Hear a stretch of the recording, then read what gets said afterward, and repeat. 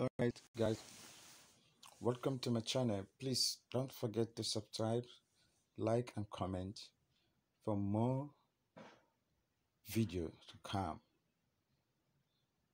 You can see from this screen the times exactly 7 30 minutes past 7 a.m. and here is today's day.